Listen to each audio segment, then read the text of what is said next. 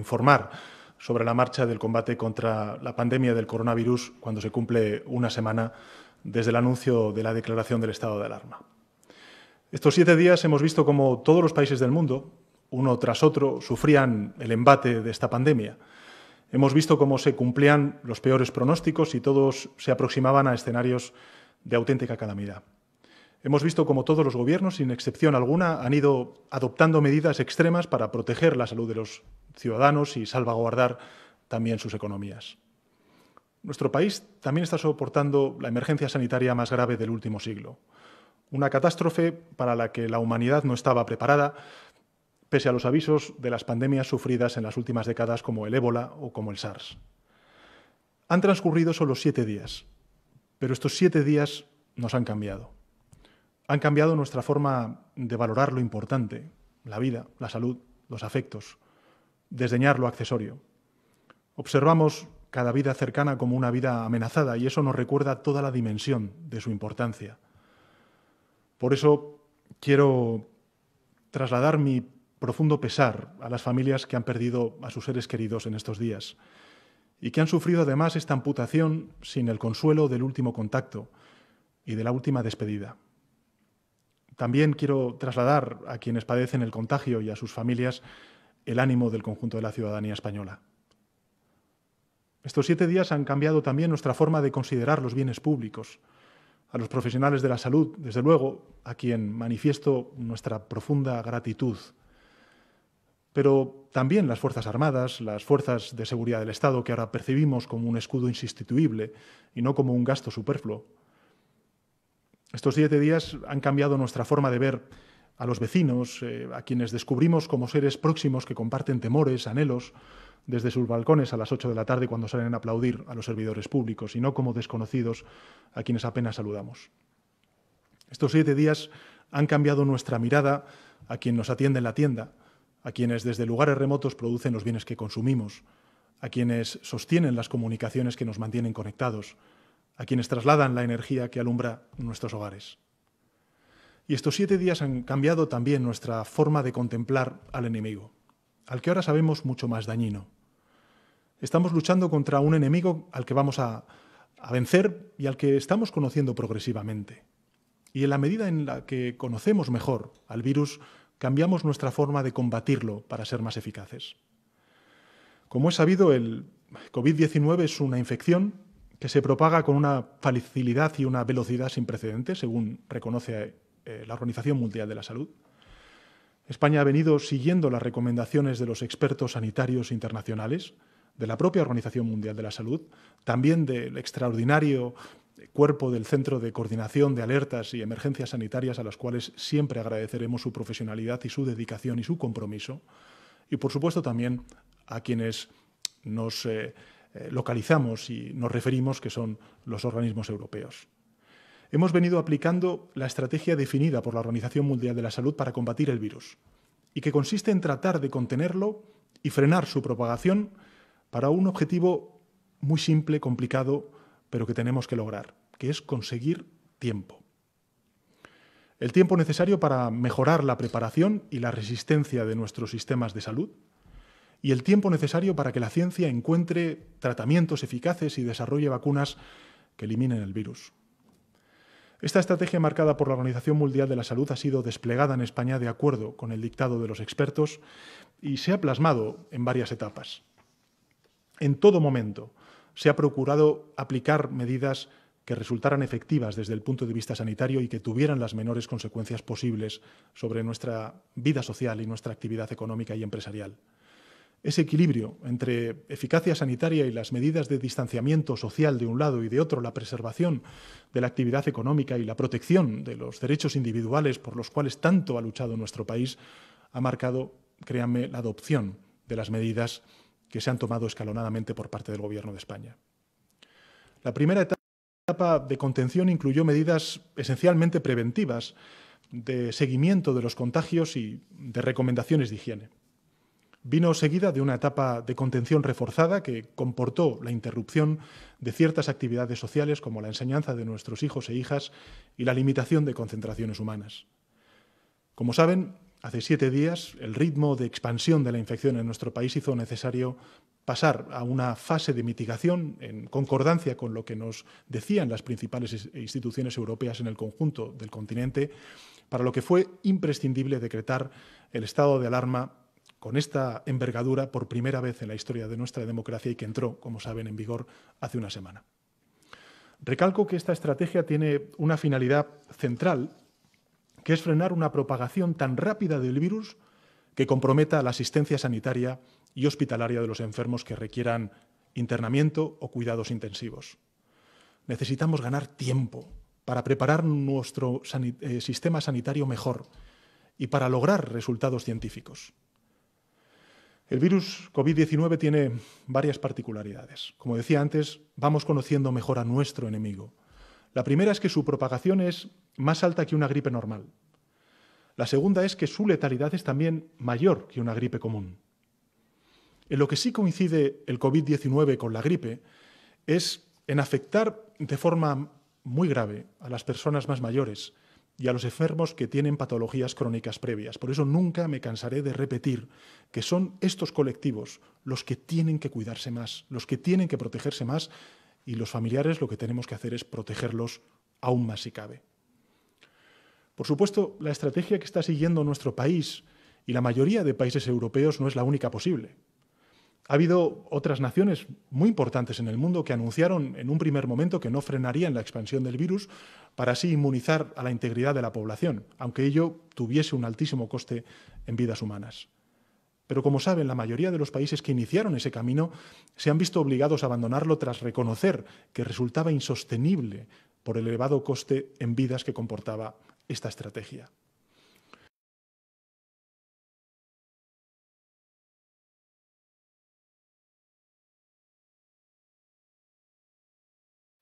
El cambio en el comportamiento de esos países simplemente es la expresión de la misma regla general que me gustaría subrayar y recordaros, y es que las líneas de actuación deben cambiarse cuando no son eficaces. Nuestro país, España, viene, como he dicho antes, siguiendo la estrategia que avala la Organización Mundial de la Salud y sobre la que existe un consenso general por parte de la comunidad científica. Y dentro de esa estrategia hemos adoptado las medidas, créanme, más drásticas y más estrictas en Europa y en el mundo tras la declaración del estado de alarma. Y también algunas medidas adicionales que hemos anunciado en estos últimos siete días y que somos muy conscientes del impacto social que tiene sobre los derechos y libertades del conjunto de ciudadanos en nuestro país. ¿Cuál es la situación actual? Conocen los datos, eh, regularmente se los están trasladando el comité científico, el comité eh, técnico, a los cuales quiero agradecer sin duda alguna su ejemplar comportamiento y dedicación. La situación actual es que España, desgraciadamente, se encuentra entre los países más afectados de Europa y también del mundo. En estos momentos están registrados cerca de 25.000 casos y, han fallecido, desgraciadamente, 1.326 compatriotas como consecuencia de la pandemia del COVID-19. Tenemos además 1.612 compatriotas en UCIs y hemos alcanzado, esta es la gran esperanza, 2.640 recuperados. Lamentablemente, los casos diagnosticados y fallecidos van a aumentar en los próximos días. Lo he dicho en otras comparecencias. Estamos en un momento muy crítico y van a llegar días muy duros, para los cuales nos tenemos que preparar desde el punto de vista psicológico, emocional. Tenemos que llegar al final de la próxima semana muy fuertes, muy fuertes. El riesgo está en todas partes. De ahí el confinamiento general que ha dictado y decretado el Gobierno de España. Pero el daño se concentra de modo especial en determinados lugares. Es en esos lugares en los que debemos hacer un mayor esfuerzo. En estos momentos hemos logrado que el impacto de la infección no sea uniforme en todo el territorio español, tanto en lo que se refiere al número de personas infectadas como el de los enfermos ingresados en las UCIs y también al de fallecidos, los territorios que acusan más gravemente los efectos de la pandemia son, desgraciadamente, sobre todo la Comunidad de Madrid y en menor grado Cataluña y el País Vasco.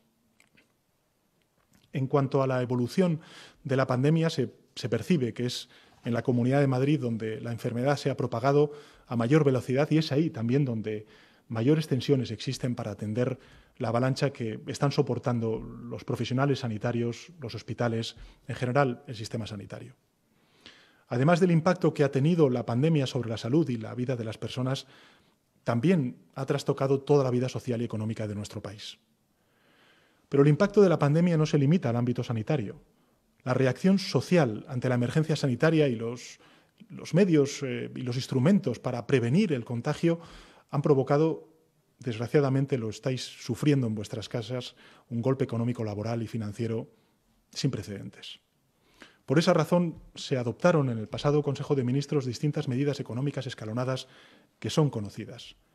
Esas medidas se dirigen a dotar de recursos a las administraciones sanitarias. Esta es la primera línea en la que tenemos que dotar de recursos a, las, a, quienes están combatiendo el virus en primera línea, a proporcionar una red social y económica que proteja de modo especial a los colectivos que son más vulnerables, especialmente eh, para garantizar servicios tan esenciales como los suministros de agua, energía, comunicaciones, para garantizar la vivienda, para garantizar un mínimo de ingresos eh, que, insisto, en esta crisis temporal eh, que como consecuencia del COVID-19 tiene, eh, las medidas que estamos tomando como consecuencia del decreto de alarma se están sufriendo en muchos hogares.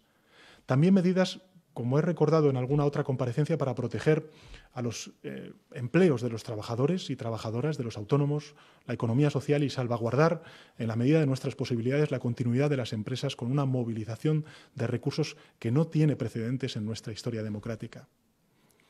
En definitiva, estamos tratando de anticiparnos a, los nuevos problemas y, en todo caso, estamos atentos a, los nuevos problemas que van apareciendo cada día y respondemos a esos problemas con contundencia y con la mayor celeridad posible. Vuelvo a decir que haremos todo lo que haga falta cuando haga falta y donde haga falta. Cada día, a lo largo de todas las horas del día y de la noche, Quiero garantizarles que estamos en contacto con las autoridades delegadas, que seguimos muy de cerca todas y cada una de las decisiones y trabajos y que evaluamos cada operación y cada instrucción que se implementa y recibimos información de todas las administraciones e instituciones del Estado.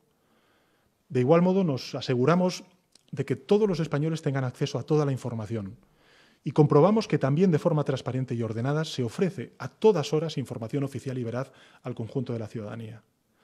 Todo esto me permite asegurarles con orgullo que debemos sentirnos muy orgullosos de los servicios públicos, de los servidores públicos, de todos y cada uno de ellos y ellas.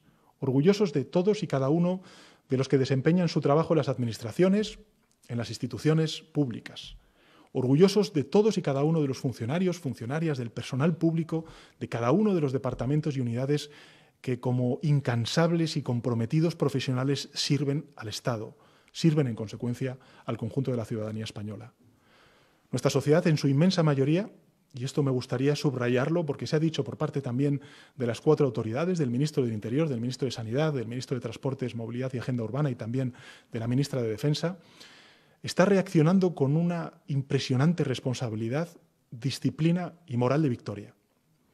En la semana transcurrida, desde la declaración del estado de alarma son perceptibles los efectos sobre los hábitos sociales y, en particular, se han traducido en, unos cambios extraordinarios por parte de la población que ha seguido, y quiero subrayarlo de nuevo, ejemplarmente las normas de confinamiento que se dictaron. Y quiero expresarlo en cifras. Por ejemplo, en reducción de desplazamientos, ha descendido de forma significativa el consumo de hidrocarburos como consecuencia de la reducción drástica de desplazamientos. El combustible con mayor caída ha sido el queroseno, para que ustedes lo conozcan bien, es el que es utilizado por los aviones y que ha bajado alrededor de un 80%. De un 80%. Los desplazamientos han descendido en consonancia con lo solicitado a la población. En cercanías urbanas el tráfico equivale a una séptima parte de los días ordinarios. En el transporte de viajeros por carreteras la ocupación es 11 veces menor que en periodos ordinarios. Y en transporte ferroviario de larga y media distancia la ocupación es 50 veces menos que en periodos ordinarios. Por tanto, ¿qué es lo que quiero decir con esto? Que tenemos constancia, y ahí están los datos, de cómo la respuesta de la ciudadanía está siendo modélica. Modélica para evitar desplazamientos que no son necesarios, en línea con lo recogido en el Real Decreto del estado de alarma. La instrucción dictada con carácter general de permanecer en casa ha sido seguida por una abrumadora mayoría de los españoles y españolas. Ello ha traducido, o se ha traducido, mejor dicho, en una caída acusada del consumo energético, muy pronunciada, por ejemplo, en Madrid y en Barcelona, en grandes urbes. Esa caída refleja sobre todo la gran caída en el consumo de los servicios como consecuencia del frenazo de la actividad económica, puesto que, por ejemplo, sí ha crecido y mucho, lógicamente, el consumo en los hogares. Para que se hagan una idea, el uso de Internet ha tenido un aumento exponencial, lo que refleja eh, tanto la expansión de todas las formas de teletrabajo como el recurso a, todas las ofertas de entretenimiento a distancia que están siendo utilizadas por los españoles en sus hogares. Incrementos que han llegado al 80% del tráfico. Fíjense, España fue el pasado lunes el segundo país de la Unión Europea, solo por detrás de Alemania, con más tráfico de datos en Internet en cifras absolutas. El quinto a nivel mundial solo por detrás de Estados Unidos, con un 17% del tráfico mundial, India con un 14%, el Reino Unido con un 8% y Alemania con un 6%. Así que permítanme que, en este punto exprese, en medio de los momentos de incertidumbre que vivimos, la satisfacción por el más que correcto funcionamiento de nuestros servicios esenciales. Pese a que España ha sido en estos días el quinto país del mundo en tráfico de datos por Internet, con un 4% del total mundial, nuestras redes han dado una respuesta más que satisfactoria. Tengan en cuenta que España dispone de más kilómetros de fibra óptica que la suma del Reino Unido, de Francia, de Alemania y de Italia juntos. Y otro tanto puede decirse sobre nuestros suministros energéticos, que se han mantenido con un nivel de eficiencia, yo diría, sobresaliente. Se ha seguido la instrucción de mantener abiertas al público únicamente los establecimientos autorizados y estos han prestado su servicio con eficiencia y con todas las precauciones de sanidad y de higiene.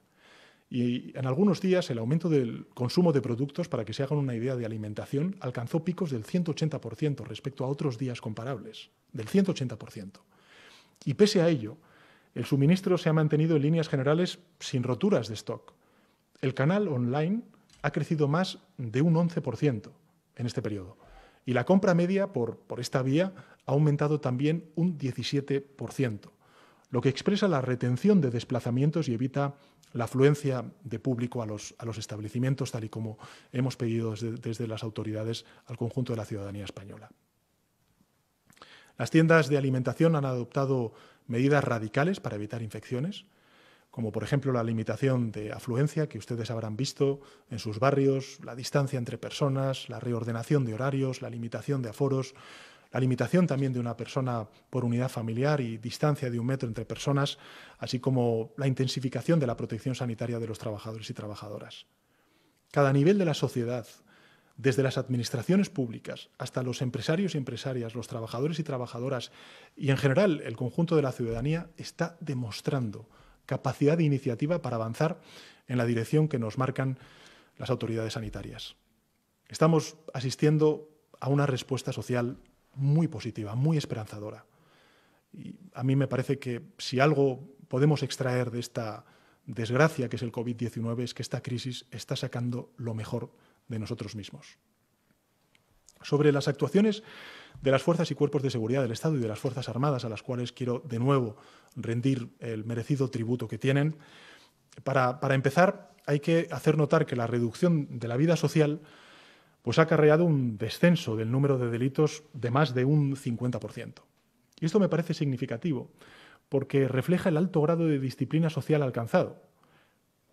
La Policía Nacional y la Guardia Civil reportan miles de patrullas, como habrán visto ustedes en sus calles en las carreteras, decenas de miles de controles en vías de comunicación, miles de registros de vehículos, como han visto ustedes en los telediarios y a través de los medios de comunicación, a los cuales quiero agradecer de nuevo eh, la ingente labor que están haciendo y me consta que también con recursos humanos menguados como consecuencia también de la infección del coronavirus a muchos profesionales de los medios de comunicación.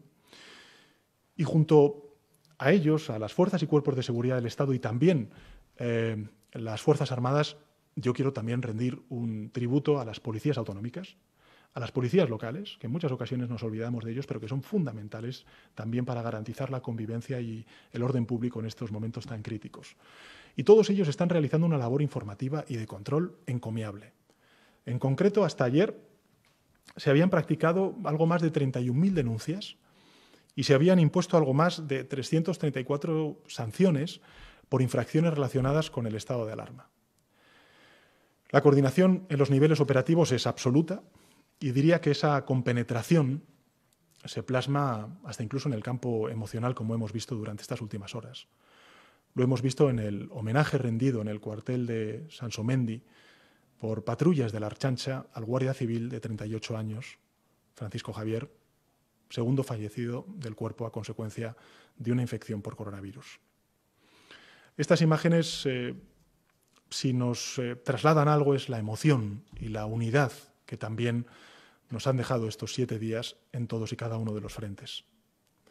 Por su parte, las Fuerzas Armadas están teniendo un papel relevante en 55 ciudades, con un total de 2.640 efectivos apoyando diferentes servicios sociales, la instalación de infraestructuras temporales, como estamos viendo a través de los medios de comunicación, y realizando tareas de reconocimiento de necesidades, de distribución de alimentos y también de desinfección de estaciones, de aeropuertos, de juzgados, de hospitales, de residencias de mayores y a estas funciones se añaden los cometidos de apoyo sanitario asumidos y, en particular, la instalación, como se ha dado a conocer ante los medios de comunicación, de un hospital de emergencia en IFEMA, en la Comunidad de Madrid, con 5.500 camas.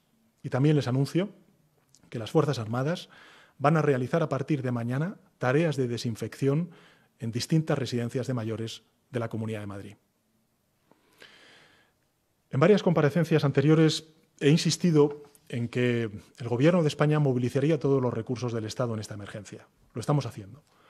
Pero también que esta era una batalla que solo podría vencerse con el concurso de toda la comunidad, de todo el país, de todos y cada uno de nosotros y nosotras. La respuesta ciudadana ha sido conmovedora, conmovedora, desde las ofertas de apoyo a los mayores, desde las iniciativas de enseñanza a distancia, desde las sugerencias de actividades para niños, para niñas, el apoyo psicológico tan importante en estos momentos, todo ello de una manera absolutamente desinteresada. La oferta cultural puesta a disposición por nuestras industrias y profesionales incluye tanto a los medios de comunicación que abren sus contenidos, eh, como también a las editoriales y a las plataformas audiovisuales a las cuales quiero reconocer su generosidad. Y nuestros creadores de cine se han movilizado para proporcionar compañía, entretenimiento. También la respuesta empresarial ha sido generosa y muy amplia. Alimentación, telecomunicaciones, textil, energía, todos los sectores se han volcado en apoyos para ayudar a sobrellevar la situación a los más pequeños, a los mayores, para reorientar su producción hacia los equipos de protección sanitaria o de respaldo a los profesionales de la salud. Sí me gustaría hablar de la indisciplina y también de la confusión social. Fíjense, el número de infracciones detectadas que ya he mencionado es muy bajo en relación con la población general. En términos generales, creemos que refleja las líneas, en, líneas generales, la respuesta de una sociedad solidaria y responsable. Pero hay otro tipo de indisciplina a la que me gustaría referirme. En medio de, esta incertidumbre que, viven los ciudadanos, es comprensible que cualquier persona sienta incertidumbre y temor. Eso es lógico, es natural. No tenemos que, sentirnos ni culpables ni tampoco inseguros por, por tener ese sentimiento de temor y de incertidumbre. Es normal. Pero existen dos formas de canalizar esa emoción. Una es el temor de quien se comporta con prudencia, que satisface la necesidad de información y acalla la incertidumbre recurriendo a los medios fiables, contrastados y que guarda todas las precauciones para que eh, todas las recomendaciones eh, que llegan para evitar el contagio y tratarlo eh, sea con las normas establecidas. Es decir, los canales de comunicación fiables para poder vencer entre todos e individualmente al virus. Pero hay otro tipo de temor patológico que busca soluciones individuales imposibles, que rompe las normas de confinamiento, que consume bulos, noticias engañosas que, por lo general eh, pues provocan alarma y pánico, que acapara bienes o productos frenéticamente. Ese tipo de conducta es la que todos debemos combatir, la que todos debemos aislar, la que todos debemos evitar, porque se propaga a la misma velocidad que el virus y es también dañino en nuestra batalla colectiva contra la pandemia. Hay quienes extienden bulos, falsedades, es verdad, pero hay muchas más personas que están haciendo con las mismas mentiras lo mismo que con el virus. Están rompiendo la cadena de transmisión. Así que me gustaría agradeceros, agradecerles este civismo. No difundir noticias no contrastadas también es una manera de combatir el virus. Y me gustaría que sobre todo los más jóvenes, los, los que están más duchos en los WhatsApps y en las redes sociales, contrasten la información que luego trasladan al conjunto de sus amigos. Porque evidentemente si no cerramos esta cadena, estaremos generando una alarma y una desinformación que nos hace más débiles para luchar contra el virus. Sobre las medidas sanitarias excepcionales y el apoyo al personal sanitario, que es algo fundamental y que está en todos los medios de comunicación y lo sentimos como propio desde el Gobierno de España. En contratación de personal suplementario, además de los más de 350.000 profesionales sanitarios, el Gobierno ha puesto a disposición de todas las comunidades autónomas a 52.393 profesionales sanitarios. Entre ellos, 7.633 médicos residentes, 11.000 profesionales médicos y de enfermería, 14.000 médicos y enfermeros jubilados, así como estudiantes de último curso de medicina y de enfermería. En adquisición de, equipos, que sé que esta es una de las urgencias que tenemos, no solamente en España, sino en el conjunto del planeta, estamos ante la mayor movilización de recursos sanitarios de nuestra historia. Tenemos que ser conscientes de ello. Y vamos a seguir ampliándolos. Los ciudadanos de todas y cada una de las comunidades autónomas pueden sentirse protegidos. A través de la unidad de acción de todas las instituciones ganaremos unidos al virus. Y en este sentido, el Gobierno de España, junto a las autonomías, han estado adquiriendo en estos últimos meses, estos últimos dos meses, en el mercado mundial estos materiales. Y la mayoría sigue haciéndolo. Todas las comunidades autónomas, puesto que no hay ningún obstáculo que se lo impida desde el inicio de la pandemia y, sin duda alguna, desde el decreto del estado de alarma. Ya se ha materializado la compra y la puesta en marcha de los test rápidos, algo muy importante, los test rápidos. Se tratan de test fiables, homologados, y esto es muy importante, la homologación. Es muy importante porque deben contar con todas las garantías sanitarias. Tenemos ya comprometidas 640.000 unidades y vamos a llegar muy pronto al millón. Y en las próximas horas vamos a empezar a distribuir también la entrega de 500.000 mascarillas de protección quirúrgicas para profesionales y 800.000 para pacientes en el conjunto de comunidades autónomas. En total, 1.300.000 mascarillas. Durante el fin de semana vamos a seguir incrementando de manera permanente el volumen de entregas. Y a este material se suma el que el Ministerio de Sanidad ya ha puesto a disposición de las comunidades autónomas más de un millón y medio de este producto sanitario procedente de compras y de distintas donaciones que se ha distribuido y garantizado eh, en base a los principios de equidad y de igualdad efectiva del Sistema Nacional de Salud. Los procedimientos eh, logísticos se han agilizado al máximo. Hemos ordenado que semanalmente y de manera estable dispongamos de todo el material necesario y por otra parte, el Ministerio de Sanidad, junto al Ministerio de Industria, y esto es otro de los anuncios que me gustaría hacerle, están organizando la producción nacional para garantizar el suministro de estos materiales necesarios de fabricación española. Estamos trabajando, en definitiva, contra el reloj para poder garantizar ese suministro de materiales tanto a los enfermos como también a quienes están en primera línea al Sistema Nacional de Salud. Estos días líderes de países de nuestro entorno, los hemos escuchado en distintos medios de comunicación, han dicho que esta situación es la más grave que ha vivido nuestra sociedad desde la Segunda Guerra Mundial. Y probablemente no les falta razón. En nuestro país, ciertamente, solo los muy mayores, que conocieron las penalidades de la guerra civil y de la posguerra, guardan en su memoria situaciones colectivas más duras que las presentes. Salvo ellos, el resto de las generaciones que hoy vivimos en España, nunca, jamás a lo largo de nuestras vidas habíamos tenido que afrontar colectivamente algo tan duro, tan difícil. Estas circunstancias nos van a poner, nos están poniendo a prueba a todos, como sociedad, pero también a cada uno de nosotros personalmente. Es precisamente en la adversidad cuando mostramos de verdad de qué materia estamos hechos. Cuando todo esto pase, que pasará y va a pasar pronto, y volvamos la vista atrás, sabremos si fuimos generosos y valientes o si nos dejamos abatir por las dificultades, si nos limitamos a quejarnos de nuestra mala suerte o si fuimos de los que ayudaron a ganar la contienda contra el virus. Y hay muchos frentes en esa batalla. Por supuesto está el frente de las administraciones públicas. Son, somos, sin duda alguna, los que tenemos más medios y más responsabilidad. Y ahora debemos centrarnos en las soluciones. Es verdad que, como a veces ocurre en la vida de cada uno de nosotros, cuando llegan las dificultades, pues solemos ver de repente y con gran claridad carencias que antes no habíamos visto.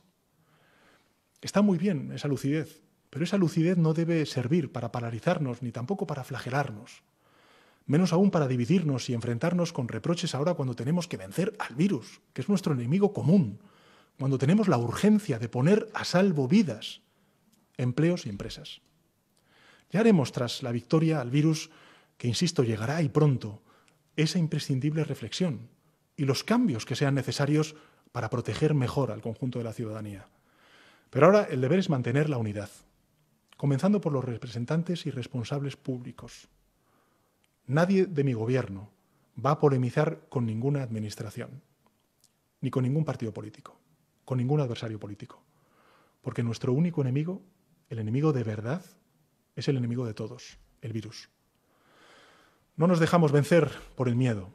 47 millones de españoles y españolas confían en nosotros para vencerlo. Y si alguien marca distancia respecto al gobierno de España, nosotros nos acercaremos con la mayor disposición. Si alguien elude sus responsabilidades, nosotros nos vamos a, esforzar por, por asumirlas, aunque no nos correspondieran.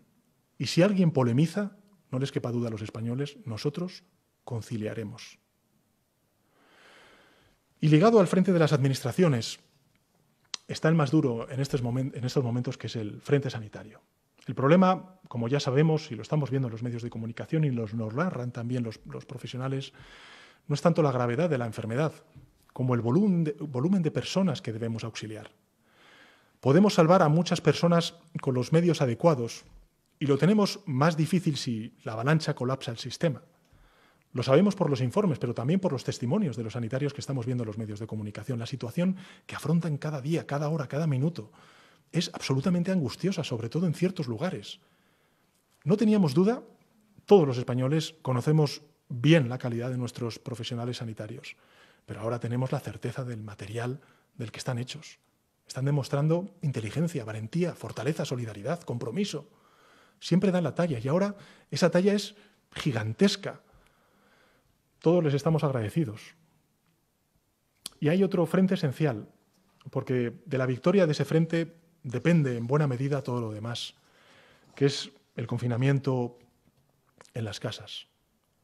Si reducimos los contagios, los hospitales podrán evitar el colapso y curar a una gran cantidad de personas. Y el frente del confinamiento en casa es también muy duro. Yo soy muy consciente de, que todo lo que estamos pidiendo a la ciudadanía española es muy duro. Ahora llevamos una semana, vamos a por la segunda semana. También ahí se ve de qué materia estamos hechos. Y ahí hay muchas cosas que podemos hacer individualmente y a las cuales el Estado, ninguna administración pública puede llegar porque nadie puede sustituir la, llamada del amigo o de la amiga para aliviar la situación de una persona que vive sola o que está enferma, o para auxiliar a quien precisa consejo y ayuda. Hay muchas formas de cuidarse a uno mismo y también de cuidar a los demás, para resistir. Cada contagio que no se produce rompe la cadena de reproducción del virus, una cadena que generalmente acaba en una persona de edad en un hospital. Si evitamos ese contagio, además de proteger la salud de esa persona, liberamos camas de hospital para otra persona que lo precise. Si evitamos contagios, ganamos tiempo para reactivar cuanto antes nuestra economía y para normalizar nuestra vida. Se dice que los seres humanos eh, somos el tiempo que respiramos. Si nos quedamos en casa conseguiremos que muchas personas a las que queremos sigan respirando. Ese es el sentido del confinamiento y todos tenemos algo que hacer para ayudar a mantenerlo. Estos últimos siete días nos han cambiado y las semanas próximas, con su dureza, nos cambiarán todavía más. Eso es inexorable. De nosotros depende que nos cambien para bien, que salgamos más fuertes, más sabios, más unidos de esta prueba. Yo estoy seguro de que cuando esto pase, que pasará y muy pronto, muchas personas se asombrarán al descubrir de qué materia estaban hechas Comprobarán hasta qué punto fueron generosos, sacaron fuerzas, coraje, en un grado que nunca imaginaron que tenían. Pero lo cierto es que las tenemos, que la sociedad española tiene esa generosidad, esa valentía, esa energía de sobra para afrontar y ganar la guerra al virus y a las consecuencias sanitarias, sociales y económicas que conlleva la guerra contra ese virus. Lo dije el otro día ante la sede de la soberanía nacional, las Cortes Generales, el Congreso de los Diputados, y me gustaría hoy repetirlo de nuevo. Desgraciadamente, lo peor está por llegar. Quedan días muy duros. Todavía deberemos recibir el impacto de la ola más dura, más dañina, que pondrá al límite todas nuestras capacidades materiales y morales. También nuestro temple como sociedad. Tengo la seguridad de que cada uno de nosotros y nosotras vamos a hacer todo lo que sepamos y podamos para salvar todas las vidas posibles y para cortar el tiempo que dure esta situación de excepcionalidad. Y eso, para muchas personas, para la mayoría, se consigue permaneciendo en sus casas para no contagiarse y para no transmitir la enfermedad a las personas con menos capacidad de defenderse de ella. No es el miedo el que nos mantiene encerrados en nuestras casas, es el coraje. Ahora va a llegar la ola. Los españoles tienen que estar unidos en sus casas mientras su país les protege, les cuida y combate esa ola con tesón por todos ellos y por todas ellas, para vencerla, para doblegarla, para aplanar la curva, con moral de victoria. Nos ha tocado vivir algo que ya nadie prácticamente recordaba en nuestra sociedad. Situaciones que creíamos que formaban parte del pasado. Muchos compatriotas ni tan siquiera han podido despedirse de los suyos. Ese sentimiento de dolor lo sentimos, créanme, como propio. Les vamos a recordar siempre, a todos y cada uno de ellos y ellas. Son parte de nuestra comunidad y todos los españoles y españolas estamos con ellos y con sus familias. Pero a pesar de la situación de dureza que vivimos, somos una sociedad más fuerte que nunca en nuestra historia. Pensémoslo bien estamos mejor organizados, con más recursos, con más capacidad material, con más capacidad también científica y de ayuda para poder sobrellevar esta situación. También somos una sociedad más unida, somos una comunidad. Y la unión es ahora nuestra mejor arma contra el virus y contra sus consecuencias. En las próximas semanas mantengamos y reforcemos, eso es lo que les pido, la unión. Ayudémonos todos y todas. Que cada cual contribuya en la medida de sus fuerzas, de sus posibilidades, porque todas esas fuerzas y posibilidades son necesarias para conseguir cuanto antes vencer al virus. Y porque unidos, y solo unidos, lo venceremos. Gracias. Presidente, buenas noches. Le formulamos preguntas que han trasladado los medios de comunicación de manera telemática. La primera la vemos en la pantalla. Pregunta el país. ¿Qué explica que Italia y España sean en este momento el epicentro del coronavirus mundial? ¿Pararán por completo la producción salvo bienes básicos si no se frena el contagio? China tardó dos meses en frenarlo con medidas mucho más restrictivas. ¿Cuánto tardará España con sus medidas? Bueno, son varias eh, preguntas que hace el diario El País y voy a responder, por supuesto, a las tres. La primera, eh, entiendo que evidentemente Italia y España, como otras eh, muchas naciones, están sufriendo el embate del coronavirus. No solamente está Italia y España, está China, está Irán, está Estados Unidos, está Alemania, está Francia. Estamos viendo muchísimos países que están sufriendo el embate, la ola del coronavirus. Y probablemente España, como nos dicen los científicos, está a la vanguardia precisamente porque es, digamos, el registro de, incremento de, afectados, lo que nos ha llevado a estar desgraciadamente junto con otros países en, el número total agregado de, afectados. Por tanto, no es que haya una explicación de Italia y España, es que hay otros países también que junto con Italia y España desgraciadamente estamos sufriendo con mayor contundencia ahora mismo, ahora mismo el embate del coronavirus, que lógicamente y por desgracia llegará a otros muchos países como estamos viendo en otras muchas latitudes. Respecto a eh, las medidas de confinamiento. Vamos a ver. ¿Qué es lo que nos ha dicho la Organización Mundial de la Salud? La Organización Mundial de la Salud nos ha dicho que tenemos que afrontar esta pandemia en base a tres objetivos fundamentales. El primero, tiene que ser el de las medidas de aislamiento, que se han demostrado ser las más eficaces para poder frenar el contagio y la extensión de la pandemia. Bien.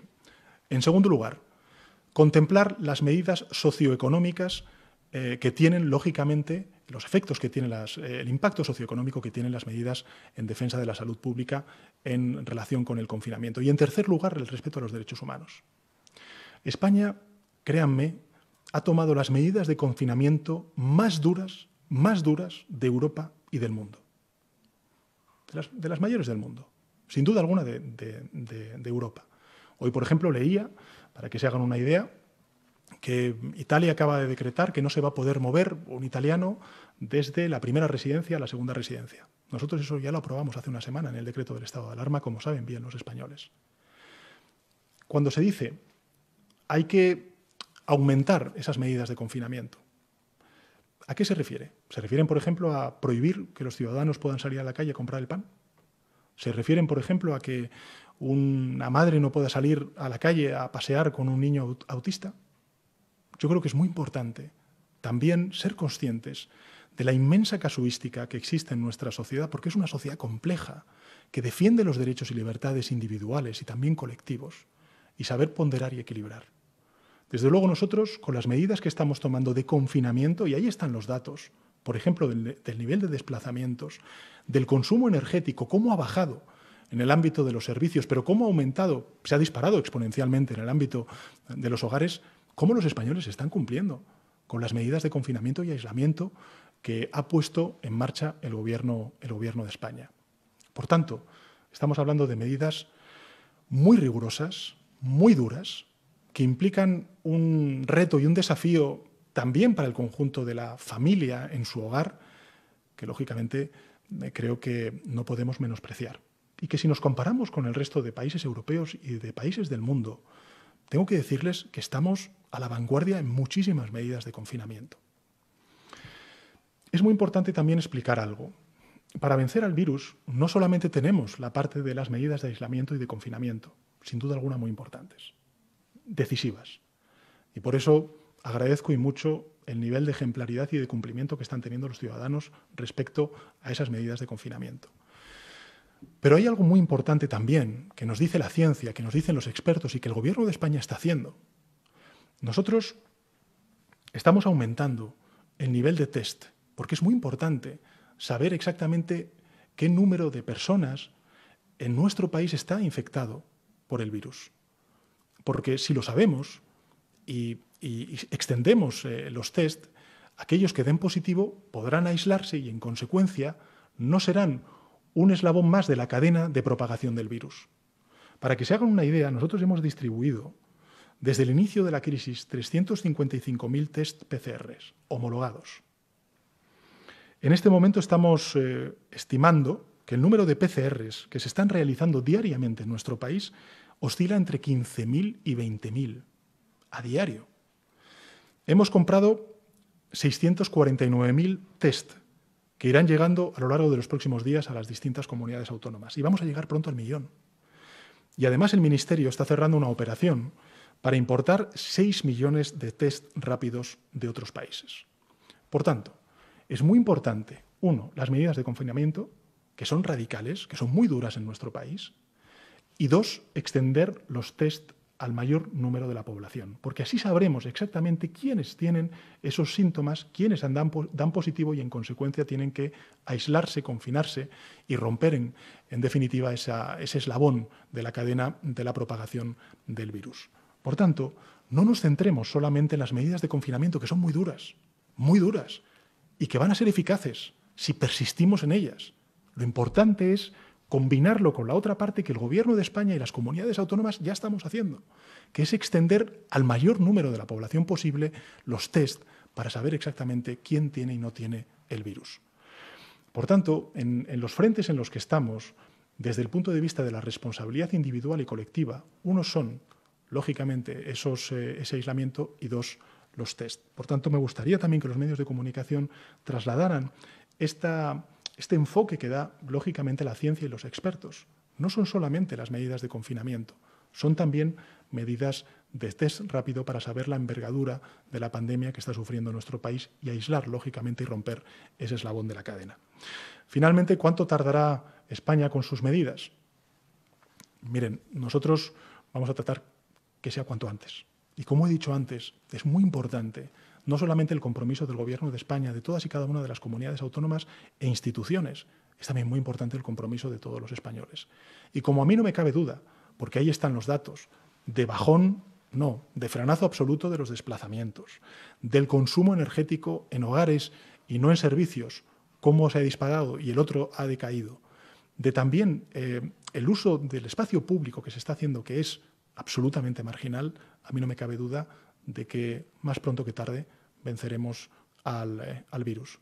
Y perdón por, por haberme extendido en esta, en esta pregunta, pero me parece muy importante que cuando hablamos de, de, los confinamientos, del aislamiento, seamos muy conscientes del esfuerzo que le estamos exigiendo a la ciudadanía, que es muy grande, como no, como no tiene otros países de nuestro entorno y de nuestra cultura. Nosotros tenemos una cultura de que nos gusta estar en la calle, de nos gusta estar, socializar con la gente. El, confinar la ciudadanía es una medida de una extraordinaria gravedad también para nuestra propia cultura.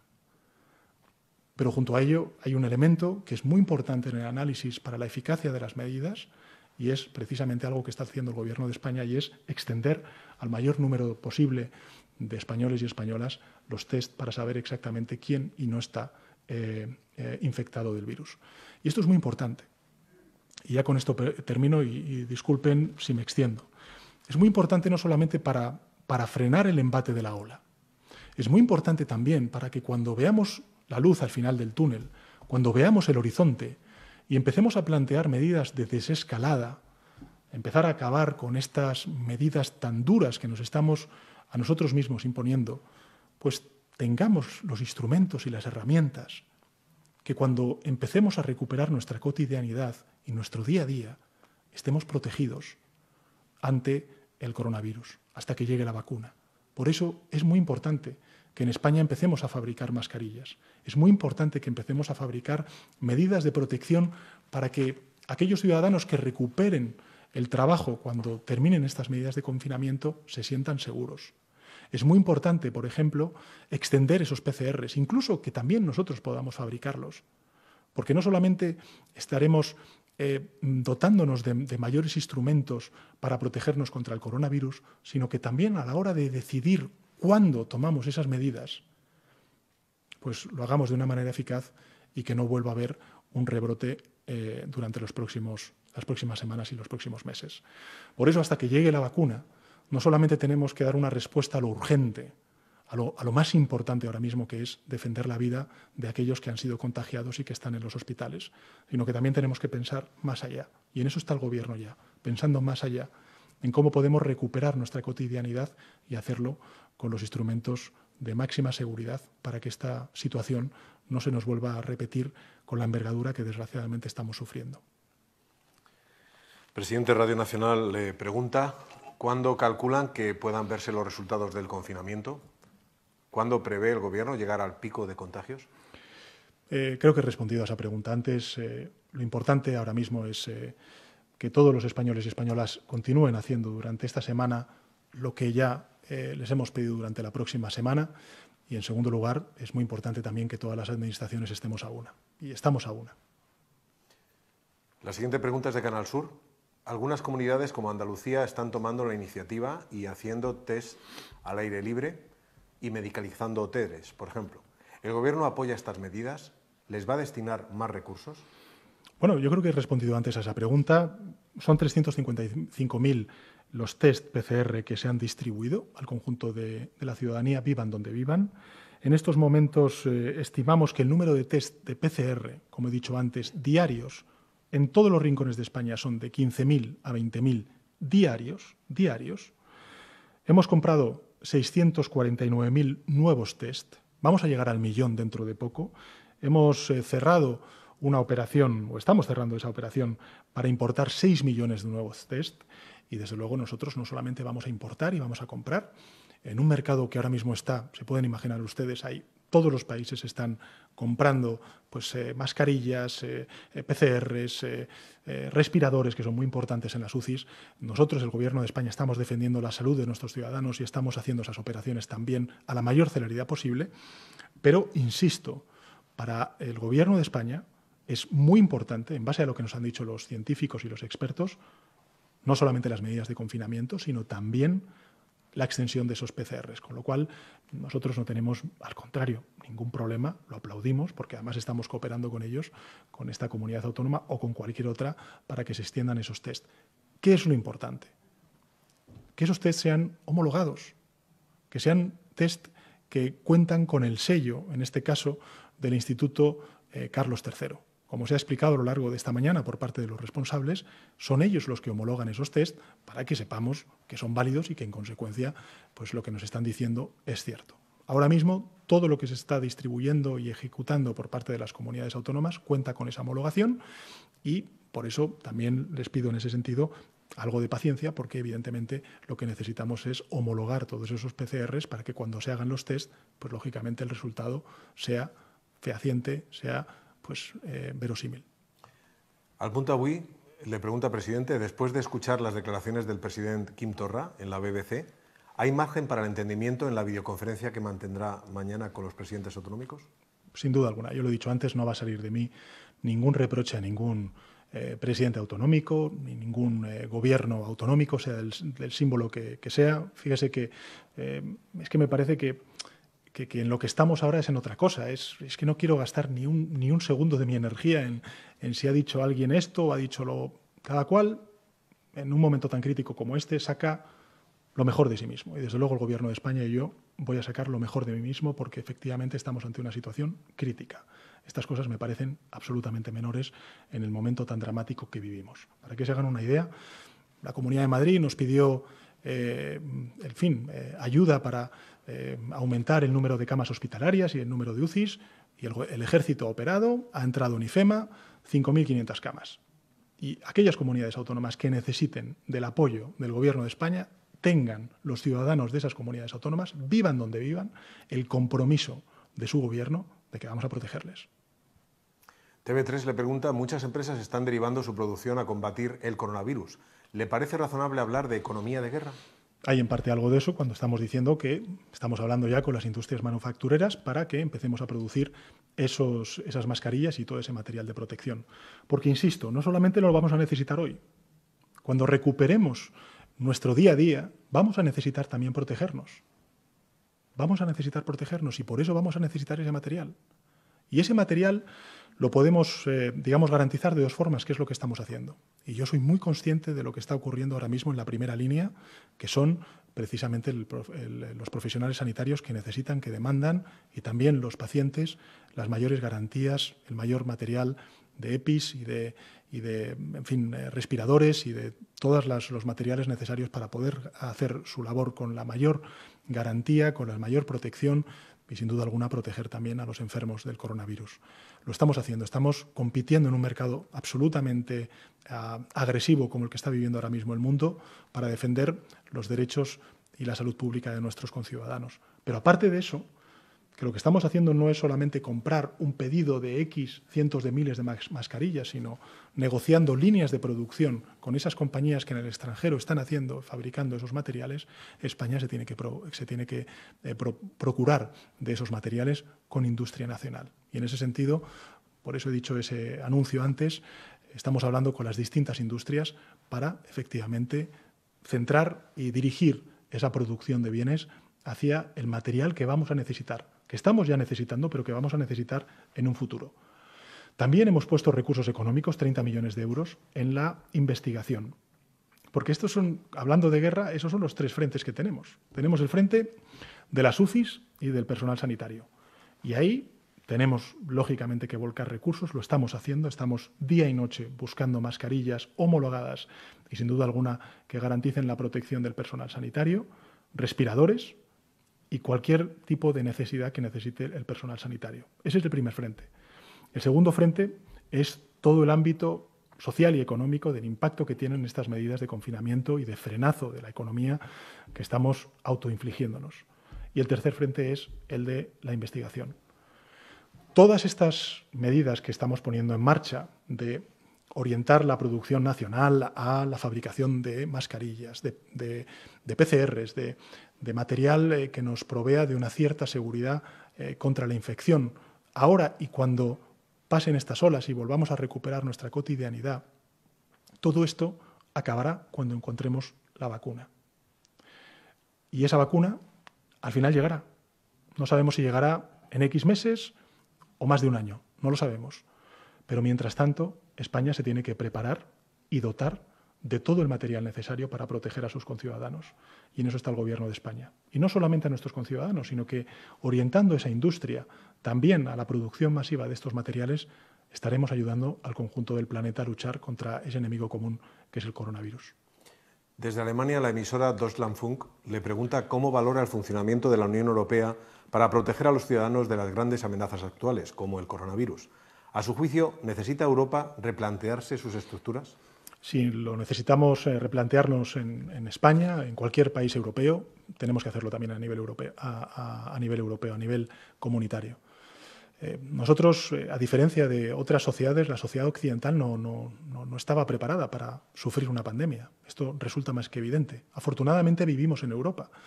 Y a diferencia de otras grandes sociedades, grandes potencias, nosotros contamos con un estado del bienestar fuerte. Es verdad que ha sido un estado del bienestar que durante estos últimos años, como consecuencia de múltiples razones, ha sufrido recortes, pero tenemos un estado del bienestar fuerte. En el ámbito eh, de, la, de la sanidad, en el ámbito de la educación, en el ámbito de las pensiones y en el ámbito también de la dependencia. Pero tenemos que fortalecerlo. Yo creo que esta es una de las grandes lecciones que tenemos que sacar y extraer de esto.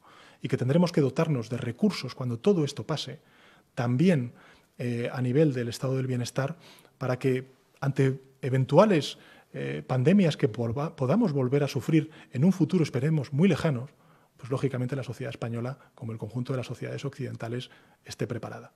Uno mira Asia y mira países pequeños u otros países más grandes y son países que se han ido preparando porque han sufrido en primera persona esas pandemias a lo largo de, estos últimos, de estas últimas décadas. Ahora la sociedad occidental se ha visto atacada invadida por esta pandemia y tenemos que sacar lecciones de ello. Yo, desde luego, como presidente del Gobierno, les puedo garantizar que en ello estoy. Las lecciones que tenemos que sacar, los recursos de los cuales nos tenemos que dotar, desde el punto de vista material, de bienes, pero también desde el punto de vista de la inteligencia, que tenemos y mucha en nuestro país, dotarla de mayores recursos y también, lógicamente, hacer un sistema mucho más resiliente ante este tipo de pandemias. Diario 16 le pregunta en cada una de sus comparecencias esta misma noche, pide unidad y agradece la colaboración de las comunidades autónomas. Pero desde la presidenta de Madrid, Isabel Díaz Ayuso, al presidente catalán, Quim Torra, le acusan hasta de negar material como mascarillas o guantes a Madrid y Cataluña. ¿Está en condiciones de desmentirlo?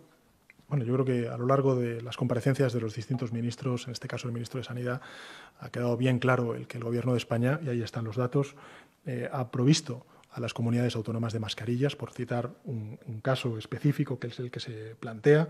Eh, eh, se han distribuido, para que recordemos las, cifras, eh, por parte del Ministerio de Sanidad durante estas, estas últimas semanas un millón y medio de mascarillas. En las próximas horas se va a empezar a distribuir también la entrega de, de 1.300.000 mascarillas, es decir, en total 2.800.000 mascarillas. Es evidente que no son suficientes, que tenemos que, eh, dotarnos de un mayor número de mascarillas. En eso está el Gobierno de España, en coordinación con las comunidades autónomas.